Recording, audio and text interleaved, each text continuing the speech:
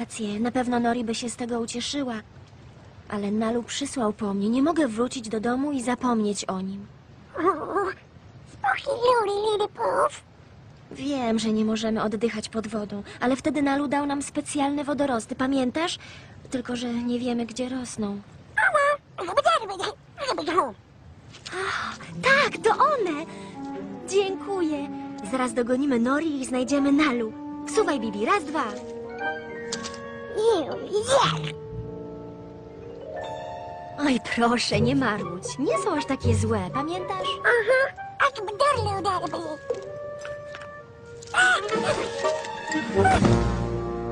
Nie myśl o niczym i jedz szybko. No, prowadź do Syrenkolandii.